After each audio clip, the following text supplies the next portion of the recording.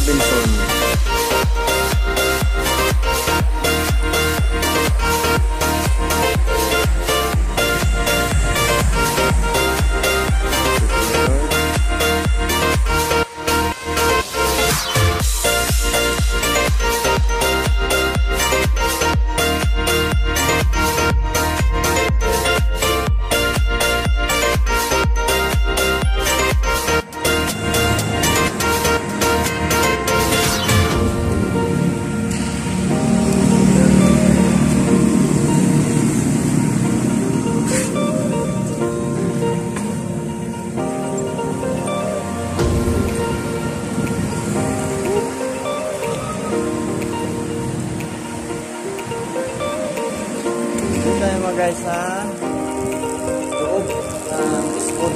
So ngayon lang ako nakapunta dito after